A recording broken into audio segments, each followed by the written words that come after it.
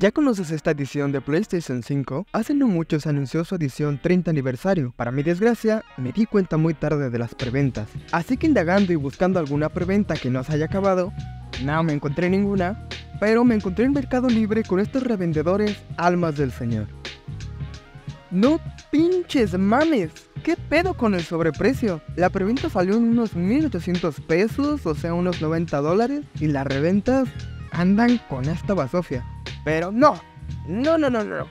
Yo quería mi control clásico, pero de pronto Extreme Rate llegó como si lo hubiera invocado. Lo siguiente sería conseguir los botones, cosa que para modelos de PlayStation 5 no se venden, pero ¿qué tal si le ponemos los botones del control de PlayStation 4?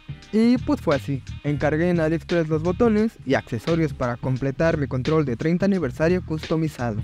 Ahora sí podemos comenzar con la customización. Primero vamos a retirar el protector inferior haciendo palanca desde la parte de abajo con una palita de metal o plástico y seguir así por sus extremos hasta conseguir retirarlo, ya que esto va a presión.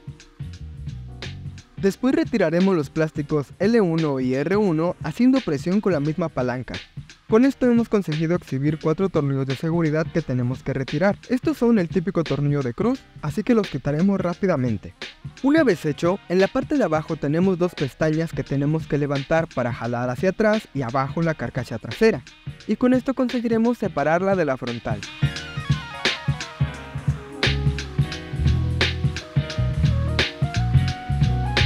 Sigue retirar la batería con cuidado, jalando desde su conector para después desatornillar la base, pues sirve como seguro para la placa electrónica. Solo nos queda ir retirando los flexores conectados, hay que hacerlo con muchísimo cuidado, pues no queremos dañarlo, hay que tener paciencia y mucha delicadeza.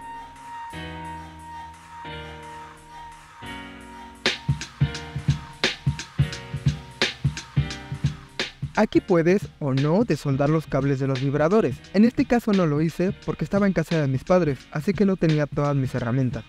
Pero ya les digo que no es necesario realmente. Para separar la carcasa frontal del armazón del control, tenemos que quitar cuatro tornillos, dos del lado izquierdo y dos del lado derecho. Una vez hecho, podemos levantar el armazón desde abajo para irlo separando, y así conseguiremos liberar todas las carcasas.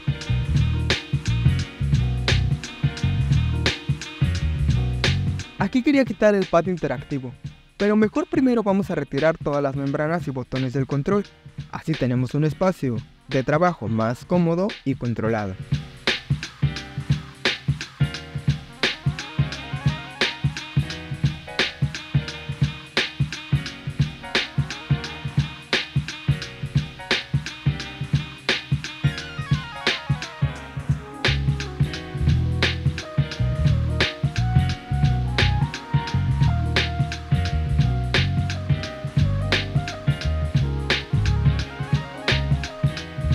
Mira qué bien se ve todo. Ya tenemos prácticamente bien desarmado el control.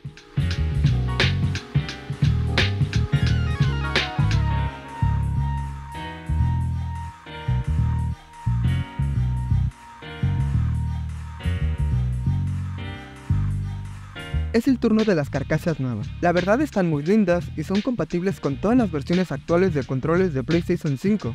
Excelente trabajo Extreme Raid. Patrocíname por favor. Esta carcasa nos incluye también el pad interactivo que viene muy protegido.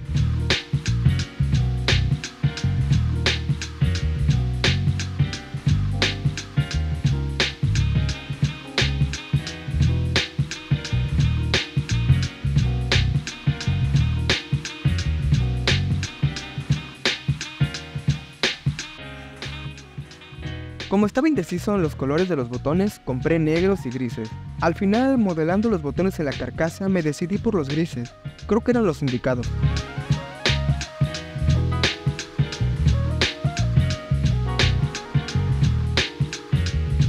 Pero no todo es de color rosa. Un problemilla es que las pestañas de seguridad de los botones de PlayStation 5 y PlayStation 4 no coinciden. Pero no te preocupes, solo hay que quitar algunas pestañas para dejarlas que sí nos sirvan y hacer la respectiva prueba.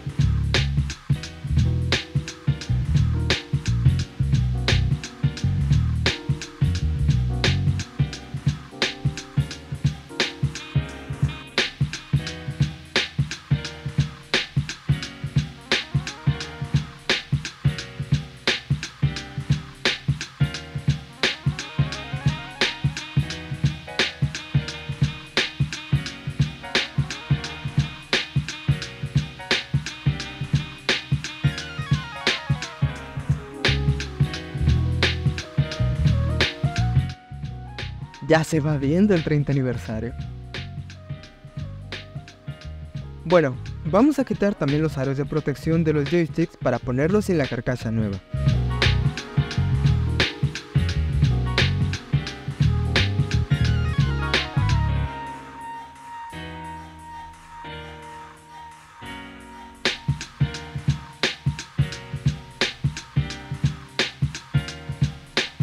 Toca armar el pad interactivo. Al principio me costó un poco porque viene pensado para encajar con todas las versiones de controles, pero al final pudimos. Lo que se me hizo más difícil fue quitar la placa del pad interactivo del plástico. Venía tan bien pegado que neta no podía. Incluso le apliqué calor y nada de nada. Al final tuve que introducir bien una palita de metal para poder separarlo poco a poco hasta que salió. Y es que mira el pegamento. y bueno, como debe ir pegado, le puse un pegamento bastante resistente ya en el nuevo pad. Toca quitar el botón del micrófono. Este va anclado a presión, así que solo levantaremos sus pestañas y lo pondremos en la nueva carcasa.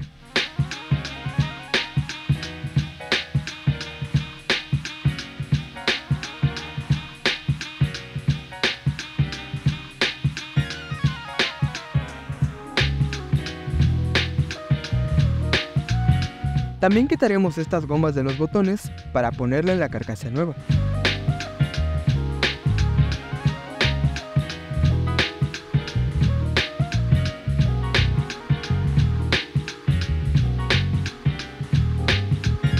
Y listo, ya podemos ir poniendo los botones nuevos e ir armando de poco a poco el control.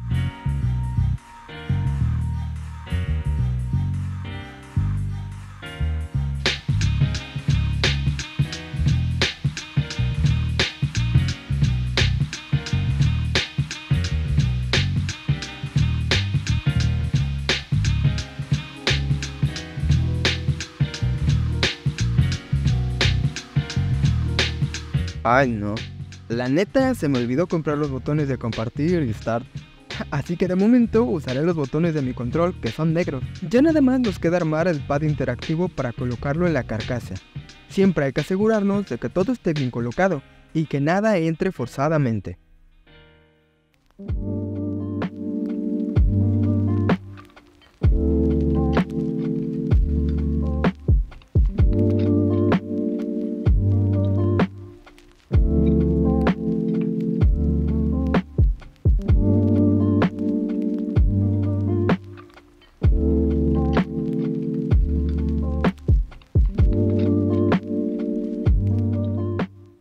Miren, les muestro la carcasa trasera que tiene gomas de agarre.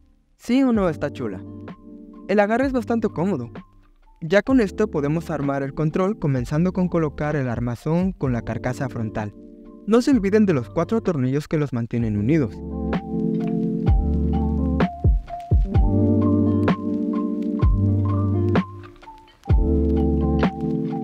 Ya armado, Igual corroboraremos que todos los botones estén bien puestos y se presionen adecuadamente. Ya nada más colocaremos los flexores y armaremos por completo esta belleza de control.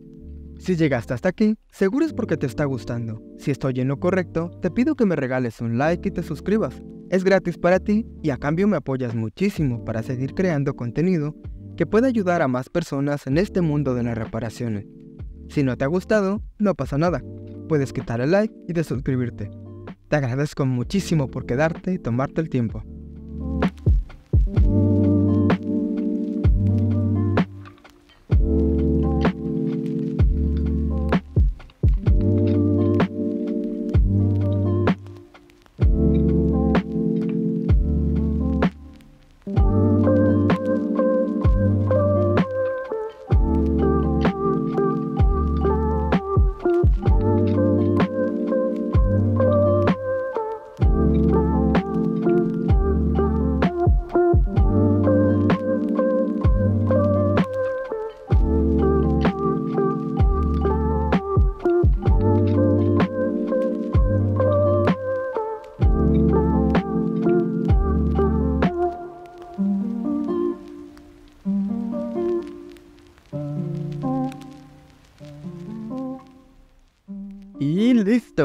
Control ha quedado perfecto, se ve muy bonito, fiel al estilo clásico, y aunque la pieza negra debe ir en un tono más gris, esto puedo hacerlo más adelante fácilmente. Ah, también le puse unos protectores para los capuchones muy bonitos, y unas gomas de precisión. A mí me gusta mucho la sensación que es más precisa. Y como pueden ver, el control funciona perfectamente, los botones se presionan adecuadamente, los joysticks no tienen drift, el pad interactivo funciona, todo quedó perfecto y mucho mejor ahora que está más bonito. ¿Y saben qué es lo mejor? Que por mitad de precio de la reventa, y yo diría que quizás al mismo precio de la preventa, o un poco más barato si es que ya usaste un control que ya tenías. Por favor si te gustó, comparte, suscríbete y dale like, me ayudas muchísimo. Te mando un saludo y te veo muy pronto.